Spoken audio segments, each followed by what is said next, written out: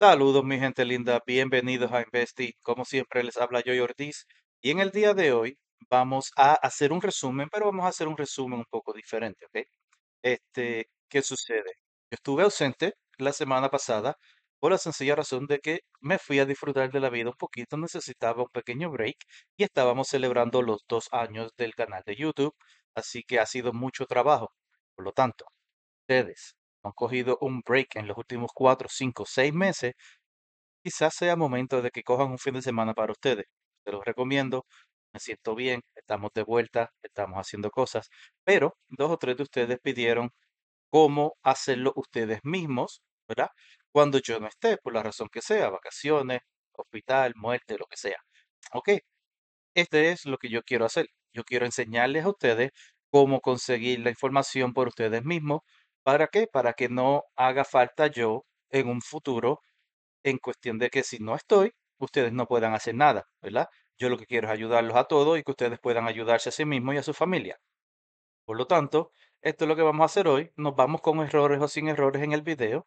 Así que si hay un pequeño error, omítelo. Nadie le importa. Lo importante es la información y eso es lo que le vamos a dar. Así que vamos a quitar mi cara y aquí pueden ver arroba eWhispers. Ese es el, el tag que vas a conseguir en la plataforma de Twitter o X, como ustedes le llamen. Y esta persona se dedica a subir quiénes son las empresas que tienen reporte financiero. ¿ok? Así que, como pueden ver aquí, todos los sábados, ahora mismo en el día de, eh, bueno, el viernes lo subió, pero entre viernes o sábado usualmente él sube esta foto con estos eh, símbolos de todas las empresas que van a estar pagando, ah, no pagando, pero los que van a estar haciendo eh, reportes financieros esta semana, lo cual significa que va a haber volatilidad. Si usted clique en la foto, lo puede ver así en tamaño grande. Y aquí pueden ver empresas grandes esta semana que tenemos. Puedo ver rápidamente aquí a Home Depot. eh, puedo ver a Cisco, Cardinal Health, eh, Walmart, Applied Materials, Alibaba, John Deere. Son dos o tres de las empresas de renombre que van a estar eh, informando esta semana. Como ya saben, este, buenos reportes usualmente, no 100% del tiempo, pero usualmente tienen eh, un brinco. A la alza en cuestión de los precios. Si los reportes salen por debajo, pues lamentablemente vienen caídas y usualmente vienen drásticas, 10, 15, 20%. Así que eso es lo que viene con estas empresas eh, este fin de se- esta semana en cuestión de reportes financieros y volatilidad. Otro que utilizamos es arroba dividend growth. Como todos, de la misma manera que a veces quizás yo suba un video que ustedes pues no sea de su interés y otras veces sí, estas eh, páginas van a ser iguales, van a tener noticias buenas y otras pues no tan interesantes. Entonces, por lo tanto, si estás buscando noticias, simplemente puedes scrollear. eh, recuerda, arroba dividend growth, es el que yo veo, entre muchas otras. Y aquí ellos te van a tener muchas noticias diferentes. Si es información que tú puedes utilizar para tu eh, investigación o para tu, eh, digamos, tus inversiones, pues fine. Si no, no importa. Pero es un buen lugar para noticias porque suben bastante información. Otra que utilizamos es eh, Evan en Stock Market News, arroba Stock Market News, news con Z, y él trae también muchas noticias que vas a estar encontrando. Aquí puedes buscar de igual manera, a veces puedes buscar cosas específicas, empresas específicas, a veces va a ser información más general en cuestión del mercado como tal. Pero van a encontrar muchas cosas. Aquí, por ejemplo, ya vemos que está hablando sobre Disney y Deadpool y otras cosas más. Aquí estamos hablando de Nvidia, Intel y todo lo demás, eso sucesivamente. ¿ok? Pero es otro buen lugar. Para más noticias, ups, ese se fue un poquito extra, no a hacer un doble clic. Pero, anyways, eh, tenemos a Yahoo, Yahoo Finance. eh, puedes venir aquí donde dicen noticias, noticias del mercado. Y como puedes ver, aquí puedes encontrar, ya sabemos, muchas noticias más. A eso ellos se dedican. Aquí tenemos muchísima información. Usualmente yo scrolleo por aquí busco cuáles eh, noticias son interesantes que les puedan ayudar a ustedes en cuestión de quizás una empresa comprando a otra o una empresa que tiene un producto nuevo, X, Y, Z, y así es que le llega a ustedes la información. Otra forma es con Finbis. Eh, Finbis yo utilizo de dos maneras.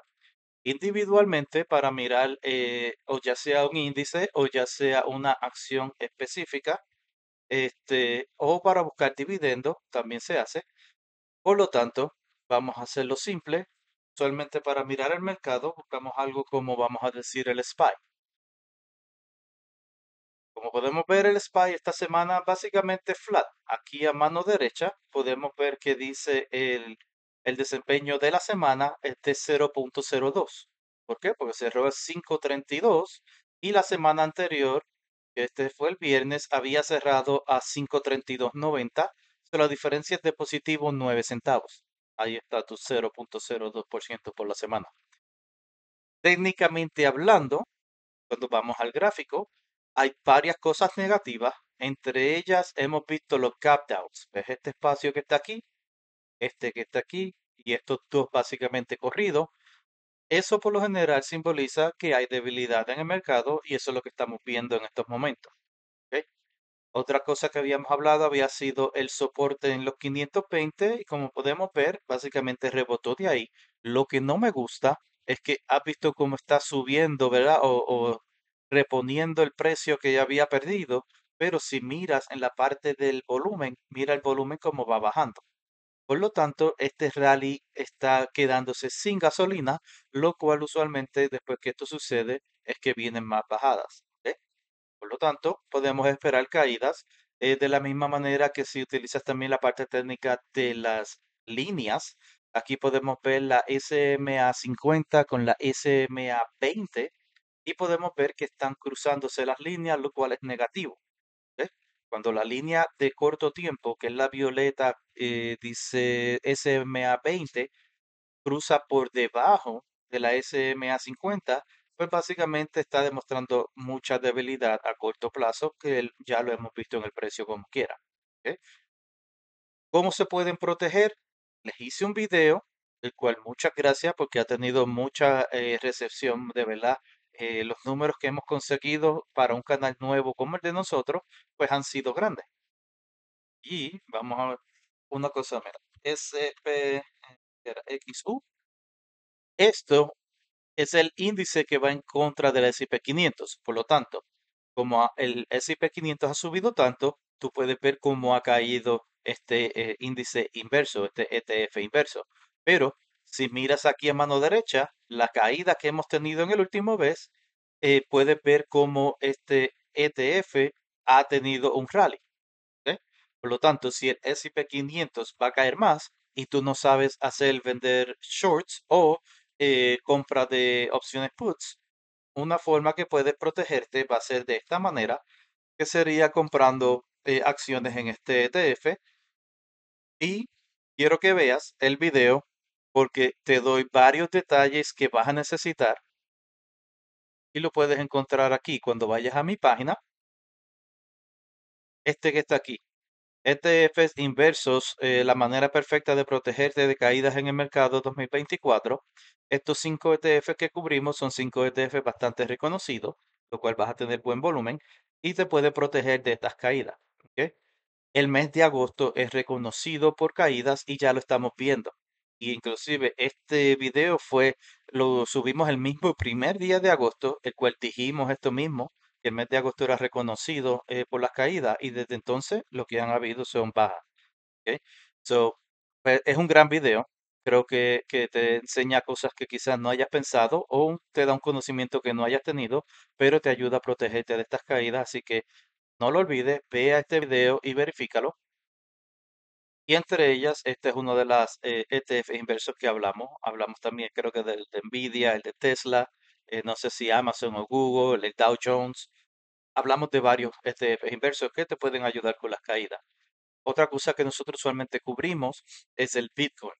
Cuando tú vas aquí en Finbis y le das BTC y le empiezas a escribir USD, él te va a salir con solamente BTCU, te va a salir cuál es el Bitcoin, cliqueas en él y puedes ver que Bitcoin había otra vez, eh, se había tenido una caída grande de nuevo desde los 70.000.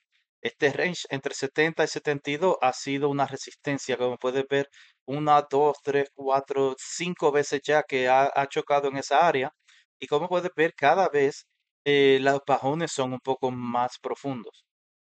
So, está comenzando a ser un tipo de canal a la baja porque cada eh, low, Cada, área que, que redondea y rebota eh, ha sido un poco más profunda.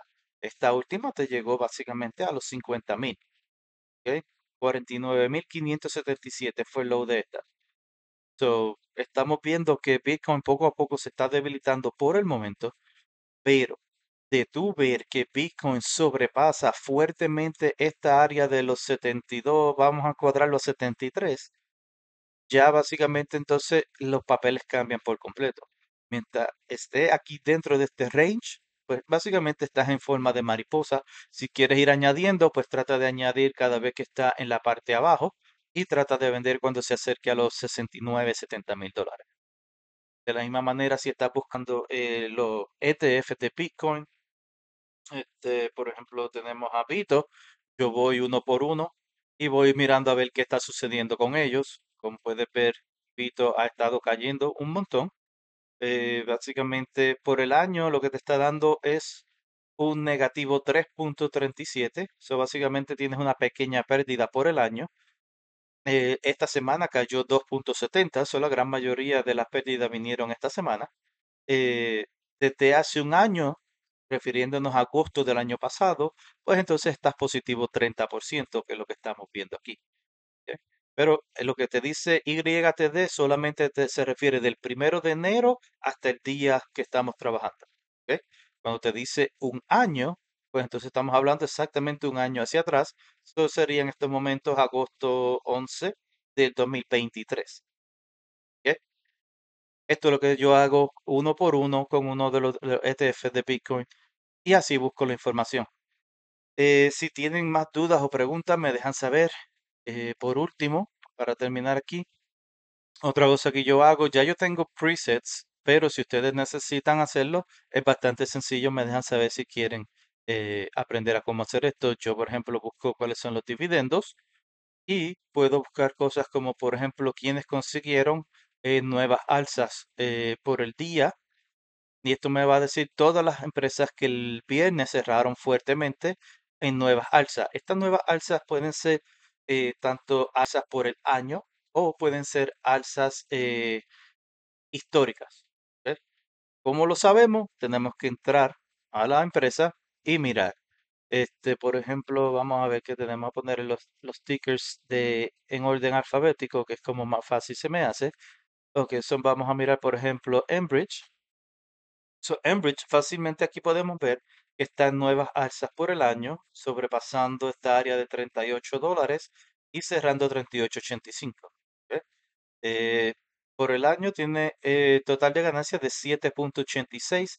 So, podemos ver que los precios están bastante cerca, se ha movido bastante lento. Si quieres verificar si estas alzas son eh, históricas, de igual manera, ve aquí donde dice monthly. Cuando ves a donde dice monthly, Ahí podemos ver el gráfico eh, mensual y se esparce hasta ahora mismo, por ejemplo, en esta hasta el 2012. Entonces podemos ver que el próximo target que yo tendría, por ejemplo, en EMP, eh, a corto plazo, pues rápidamente serían los 40, lo cual fue resistencia aquí, fue resistencia aquí, resistencia aquí. En esta área había sido soporte entonces, como podemos ver, es un área que se puede ir para una u otra forma. Si sobrepasa eso, pues el próximo target va a ser 45, que sería el, próximo área de resistencia donde todo el mundo se salió antes de la última caída. ¿ok? Lo, bueno es que tiene un buen soporte aquí. Entrar a 38 con un stop loss posiblemente como a 34 o algo así por el estilo, y tratando de entonces conseguir esos 45 Tú estás dándole eh, posiblemente un riesgo de 4 dólares para hacer aproximadamente unos 7 dólares, algo así por el estilo. ¿ok? Entonces, si es algo que les interesa, pero de esa manera yo lo hago. Regresando otra vez a la lista, puedes buscar algún otro que te interese.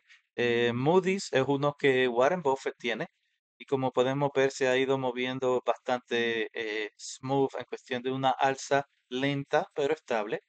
Eh, cuesta 400, cuádralo a 65 dólares.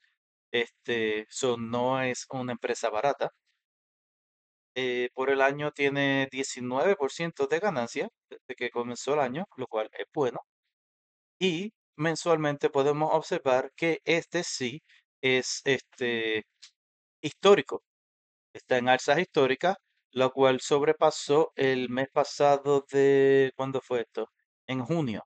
En junio consiguió eh, subir por encima de este range de los 409, 410 y desde junio, julio y ahora agosto, ahora lleva eh, dos meses y comenzando un tercero, eh, básicamente de sin parada. Esto sucede usualmente que hay ganancias históricas, mi gente.